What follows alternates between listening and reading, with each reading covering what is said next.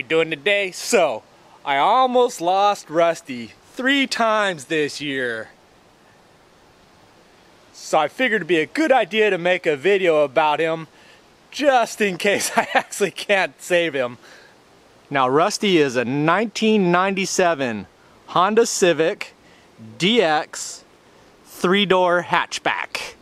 Uh, it's based on Honda's most economical package it's considered kind of the commuter package for the California Bay Area. It was the Civic's most baseline package, no power anything. So you had manual door locks, manual windows, no power steering, no, not even a CD player, just cassette, no air conditioning. Basic. This model came with a 5-speed manual transmission. And my most favorite part about this car is it being the baseline version. So it's got one fan belt and that's to drive the alternator. No power steering, no air conditioning, no other accessories, one belt. So you can see how basic this is. Much like my little 2.5 horsepower Suzuki, it's not much more than a vac uh, lawnmower engine there. But super, super basic, meaning I could take care of it very easily. Now I bought Rusty in July of 2010 for $3,250. Uh, he had uh, 117,000 miles on it and currently it's at 178,000 miles. Uh, I remember it was funny because uh, the lady had advertised it for $3,500. It was exactly what I was wanting. I'm fine with it. I was going to pay the 3,500. But when I talked to her, uh, she just said, well, I've never sold a car and I don't know what I'm doing, so 3250 and I said, all right, I was going to give you 35, but 3250 is fine. So that's the way we ended it. Um, it did have some problems. Well, the good thing about it is, it had its complete history. Uh, every dollar that was ever spent on this car, uh, they had kept re documented receipts in order as one of those type of deals. Always went to the servicing at the uh, the uh, Honda dealership and it just boom boom showing everything so I really liked it however it had a problem right off the bat it had uh, transmission whine that was a five speed manual but uh, it had a whine in it as it sat there but if you pushed the clutch in, the whine went away. Um, I wasn't too concerned about it, but I knew that was the reason why she was dumping it off because it was probably a pretty expensive deal uh, price being fixed at the dealership. So I ended up buying it. Um, the reason why I actually bought this car was because I had gone fishing on my buddy's boat and in Sacramento and we were out in the Delta and I saw a guy on a red kayak out there with fishing poles and it was the first time I ever saw that happen and I was like shocked and amazed and like bells went off my head and I was like god I gotta do that. That's something that sounds awesome. So I was researching it and going all involved because kind of what I do and uh, the first thing I decided on was the, to go kayak fishing the first thing I had to buy was one a kayak car two was a kayak rack and then three a kayak and that's why I got the green Tarpon 140. Now what I found out later was that there was just a little bearing that was worn out and it's kind of common with these uh, five-speed transmissions and the dealership quotes usually around 15 to $2,000 to fix it. But fortunately my dad has an awesome set of tools so I went about and uh, went to Craigslist. I bought a cheap manual transmission for a hundred bucks because Honda Civic parts are dirt cheap and they're everywhere. And I pulled out this original transmission out, swapped in that $100 one, which had a little bit of problems, but it still worked. And then that gave me time to go through and uh, replace that little bearing. It happened to be in the far tail end of the transmission. Uh, and uh, the only way to get at it, to swip, sw uh, swap it out, is removing the whole internal parts of the uh, transmission, take those out so you can knock the bearing out from the backside in and then push in the new bearing and then put all the guts back together again. And that was pretty like, whoa. did that the first time, took out that new transmission that I just bought temporary, put this one in, and of course it didn't work. So I pulled it back out, put in that other spare transmission, and got to work, and then finally like always, taking the time and looking and figuring out how things actually work and why they are the way they are and how they're set in there. I got it to work, shifted fine outside the car, put it in the car, put in a new clutch, and boom, worked perfectly. And I had no problem since then. And uh, outside of that, this car was perfect for basically seven years that I've had it. And then this last couple of years, not so much, but I contributed all that to saltwater kills everything, and saltwater is trying to kill Rusty, but uh, I'm trying to keep it alive. Now, if you're wondering why Rusty's name is Rusty, you can kind of see here. Now this is all tape holding on this front pillar from the inside and outside, otherwise it is gonzoed. It's getting lighter, so better gas mileage, but rough rough business. Get a lot of rust from these coming apart. Now this is not, this is just cosmetic looking. I've actually got it bolted in because that was the only way to keep my uh, kayak rack on there. But everything is just rust laden. Um, as I mentioned in the prior videos, I just replaced the uh, oil pan. I guess you can't really see there. That was leaking. Uh, just swapped that out for the second time in a couple of years because the whole undercarriage is just rust. Pretty much all the panels are all rusted through there. Got all these spots on the other side over there. I just used tape to kind of tape up the holes where the rust has already gone through it.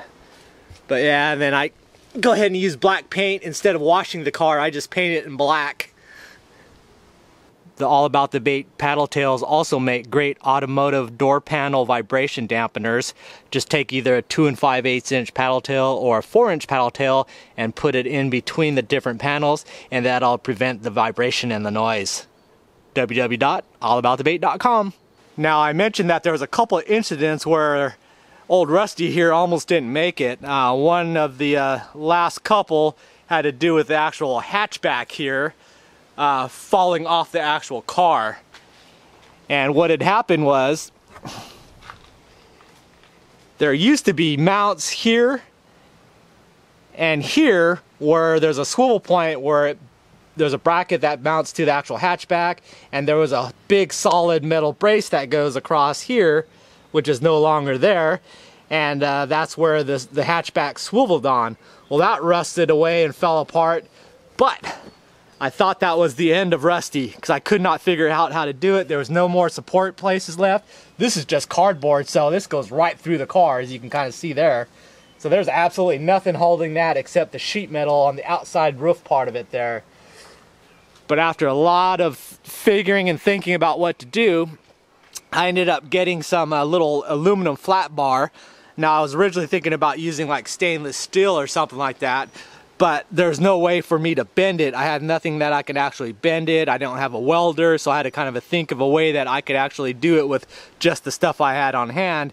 And with aluminum is you could heat aluminum and mold it fairly easy. If you heat it enough, it almost gets to a rubbery pro uh, properties. So you could heat it up, bend it, and it'll mold to place.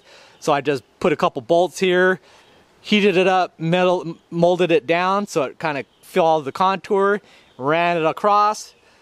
Got some uh, $4 hinges from Home Depot, and those are door or gate hinges.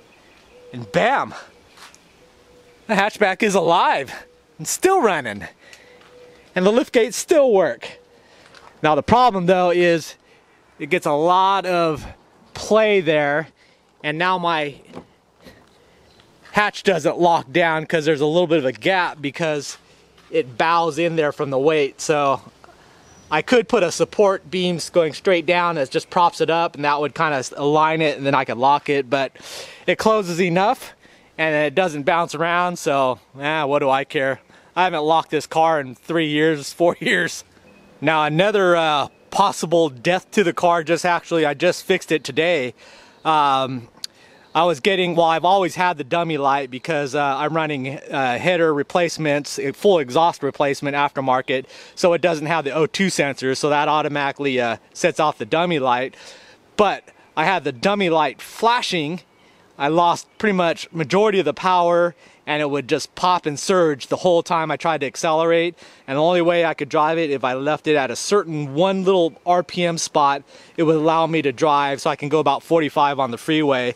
So the last time I went fishing, that's how I got all the way out to Shark Channel and how I had to drive back like that. But since I had to do the oil pan, I figured, uh, why not try to save it? I was about to just scrap the whole car. But uh, I went through and tried to figure things out, and then what I came up with was to check the spark plugs. Fortunately, I was able to pull the boots out except for this one. Um, that one got stuck in the bottom, broke off. But what I finally got the little rubber pieces out so I can get the uh, socket on it, the spark plug was barely in there. It just came out without any torsion at all. So I replaced the spark plugs, put new wires on it, and boom, it fires up and idles beautifully. I don't know how long that's been a problem. I've had some starting issues and a little bit of ragged running for a while now, but I think it's all been contributed to that until one point it finally just kind of blew out there. Um, I had lost probably 10 miles a gallon. I was probably getting about 28 miles a gallon, where before I was getting up to about 40 miles to the gallon. And I bet you that was a problem because it runs so smooth now. Super happy about it. But that's such a major relief. Now, last year's uh, fatal flaws had to do with the braking system. Uh, there's a couple of brake lines way down the bottom where it comes to an angle right by the frame and then it groups with the fuel lines and they all go towards the back where where that bend is it caught water and leaves and stuff and it corroded the brake lines and those burst on me one day lost all brakes but uh, I went through and just replaced the the section there and that was fine then I blew out another line on this side here, going to the front right brake, and then uh, same issue, corrosion, so I fixed that. Then the master cylinder failed, so I replaced that. Then I did the brakes twice because one time the uh, adjuster slide on it uh, rusted and it just ate the brakes away, but now they're running fine. And then on the back one, it wasn't so much brakes, although there's no chance that I'm gonna be able to get the drums off now because I stripped out the hole where you can push a bolt through it and it pushes the drum off. But uh, I did the rear wheel bearings because they were going on it. And uh, I was debating whether it was worth it to keep it, but since I replaced them last year, my brakes have been perfect. Then earlier this first part of the year, uh, for a couple months, I was having problems with the clutch uh, the clutch going all the way to the floor and just getting stuck like that. And then for some reason I was losing fluid. So I ended up uh, doing a couple things. One, I switched out the clutch master cylinder, which manual clutch there, swapped that out. Then uh, that didn't resolve the problem. I was still getting occasional where it would just sink to the floor and I'd have to use my foot to prop it back up, pump it, and get it to work. So I swapped out the clutch master cylinder down there and I thought that was the problem because I had some sort of leak because the, the volume of uh, fluid would slowly drop somewhere. But then I was uh, cruising through town one day, came to a stop, and the clutch went to the floor, and I wasn't able to pump it up.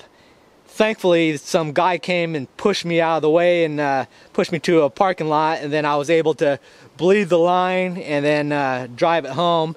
And then I finally found out that it was the clutch hard line, which is right here, which was actually run through the, the motor there, it had corroded in that one of the junctions, uh, it had leaked and had slow leak on it. So I replaced all the hard lines to the clutch there. So all the pneumatic part of the clutch has been replaced.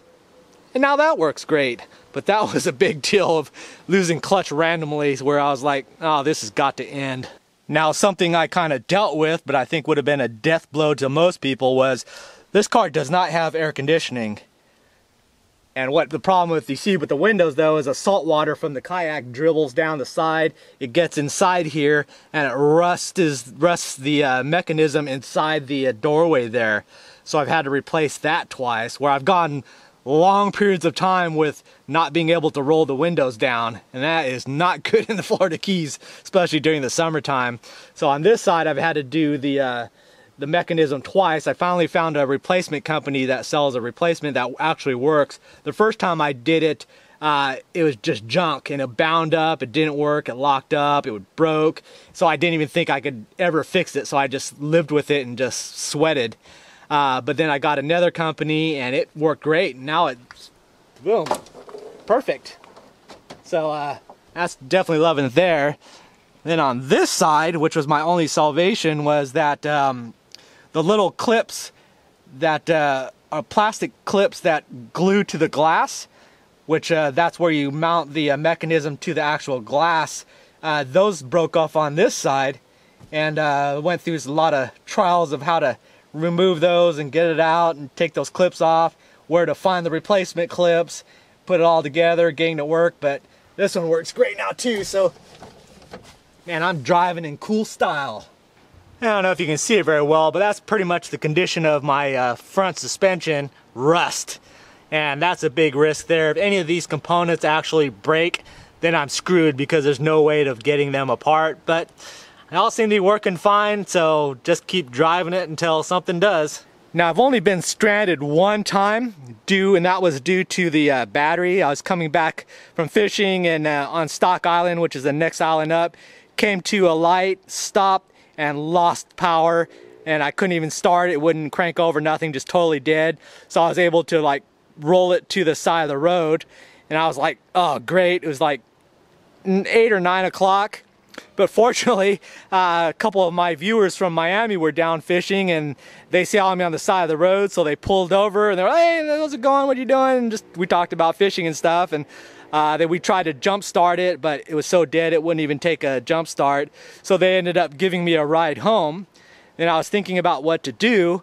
Um, then it dawned on me Kmart was still open, so I got my motorcycle, went to Kmart, bought that battery, came back, got all my tools, drove all the way to Stock Island. It's probably about eight miles from here. Uh, put the battery in, it fired right up parked my motorcycle across the street at a gas station, drove this back home, walked all the way back there, got my motorcycle, and came all the way back. So that worked out good. Now, one of the upcoming risks is this summer during the rainy season, none of these seals are do anything. You can basically see right through the car.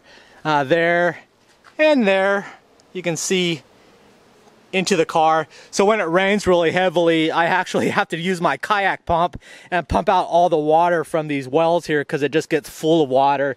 Same thing with my trunk. It's basically a, a live well back there where the uh, the spare tire goes. It's a deep well and that fills all the way with water. So I have to use my kayak pump and then just pump all the water out. So I don't know if I'll be able to do that for too much longer and it's got the broken windshield. This is actually the second time that I've broken this windshield. Same exact spot, two different reasons. The first time is when I bought my Hobie Adventure Island, I was trying to get the uh, outriggers inside the car right here, and they would just almost fit if I jammed them into the corner. And then as I shut the hatch, just barely amount almost to be able to close it. So I just pushed a little bit, and it just wedged in there and cracked, almost just like that. Now this cracked because the push pull rattles it and con continuously rattles it and when this is sitting out in the sun I think it weakens it and that vibration just finally made it crack and then it grew because the cracks build up from the inside.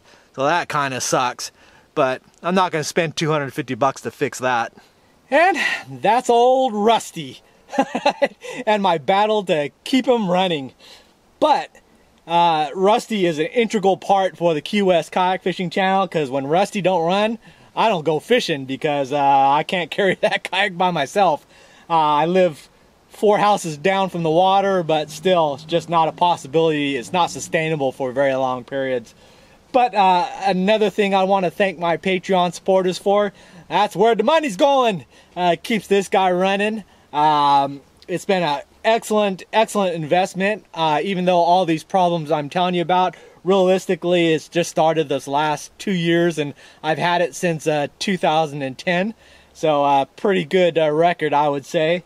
Um, the other part of it is is that a Honda Civics in the late 90s, early 2000 is so dirt cheap to maintain for parts. Uh, all these repairs that I'm doing, it's all $20, $40 for the parts because like my oil pan I just uh, just swapped out the oil pan, gasket, and you get a free tube of uh, a gasket sealant for $35, free shipping. And that, that was I didn't have to buy anything. And that was done. 35 bucks.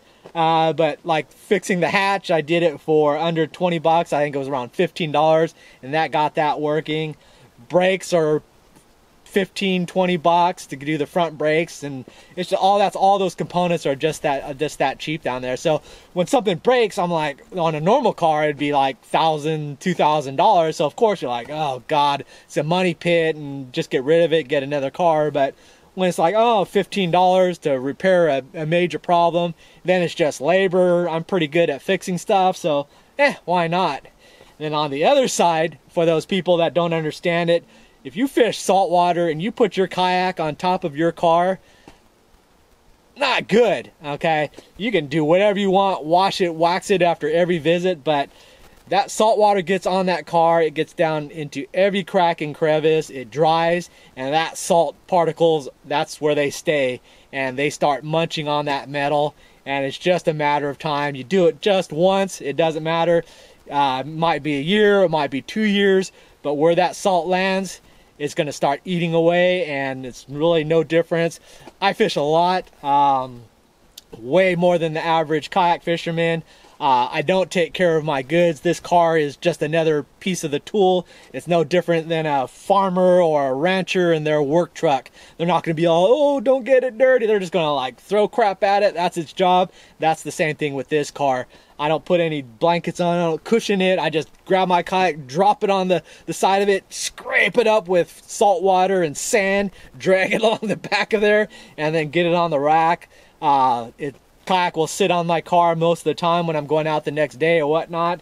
So it basically just drips salt water and sand and sits out in the sun. Uh, the inside, everything comes in here. It's salt water. Uh, even when it doesn't rain, I still have to pump it out every couple of weeks because from all the drippings from the motor, the paddles, all my fishing gear, it just drops water and it accumulates and builds up. Uh, plus, how many times have I dumped a, a, five gallon bucket full of bait back there where it spills out? I've done that. Uh, bait pieces of uh, stuff in the cast net gets left in here and it reeks and rust and uh, horrible in here. But I think it's given me an immunity to the coronavirus. But uh, what can I say? It's just part of the tool, and I, I think it just paid for itself 10 times over. So never say anything bad about Rusty. So, after a lot of close calls, I figured I'd do this video. I've got videos of me loading and loading, how I put all that equipment inside here. Uh, but it works, and uh, works perfectly. And uh, I've camped in this car with the kayak gear. Just move it to the side, everything folds down. Love the hatchbacks. Uh, definitely would get another one just like that. But don't need to because Rusty's running good. But uh, anyways, uh, just wanted to give you a heads up what I've been doing the last couple days. I haven't been fishing. Well, it's been windy as well, but uh, putting some uh, good quality time with Rusty and getting it back to running again. So I feel comfortable making the 10 mile run up to uh, Geiger Key and Shark Channel. Uh, start chasing those tarpon. So anyways, thanks for watching. Thank you to my Patreon supporters for all that monetary support keeps Rusty happy, keeps me happy, keeps you guys happy with the videos. So uh, anyways, thanks for watching and I'll see you next video. Bye. Uma. Uma. Say, say something. Huh? What? Are You hungry? You want dinner? Yeah? Alright, see you later.